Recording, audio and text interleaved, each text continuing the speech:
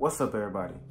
I'm about to show y'all three different ways to make a beat using the same loop, either one that you downloaded or made yourself.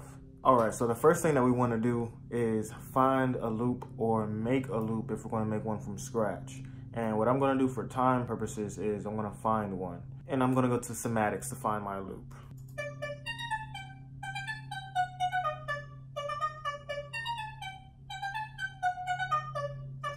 I feel like that'll go well with a lot of the different things that I'm about to do to this beat to make it sound different from one another. The first thing that we're gonna do is tempo and repitch.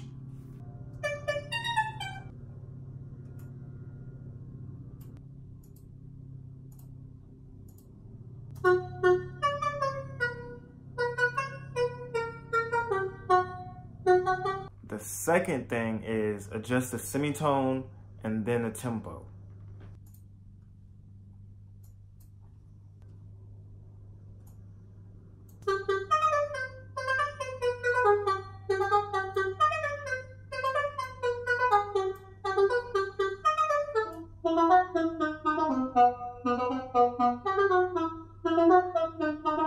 The third way that you can make your loop sound different is to combine all three of them, which is the tempo, the repitch, and semitone.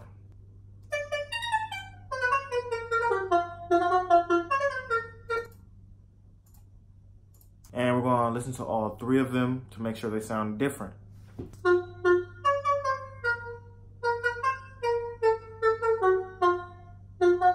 The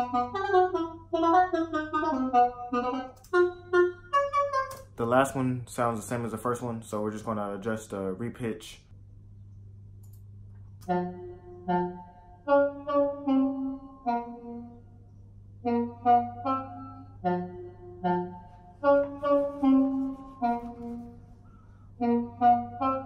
Yeah. Yeah. Yeah, I really like that one. That one's kind of dope. I'm going to make a beat to all of them. But leave it in the comments which one you want to see first. I'll probably work on that last one first though, because I really like it, but I'll only release the one that you guys want first. That's all we're gonna do in this video. I just wanted y'all to see the three completely different ways that you can manipulate a loop. If you like this video, leave a thumbs up. If you didn't, leave a thumbs down.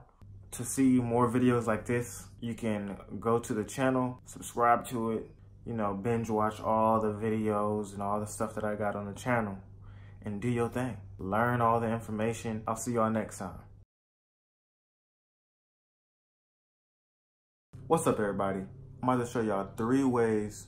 No. What's up, everybody? I'm about to show y'all three different ways to make a beat using. What's up, everybody? I'm about to show y'all three different ways to make the same beat. No. What's up, everybody? I'm about to show y'all three different, fuck, man.